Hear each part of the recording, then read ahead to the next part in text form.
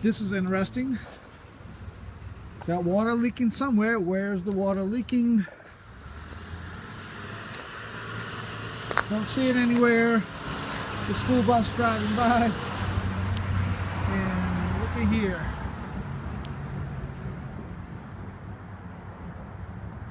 Water is just bubbling out underground.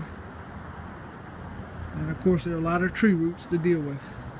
This is going to be fun.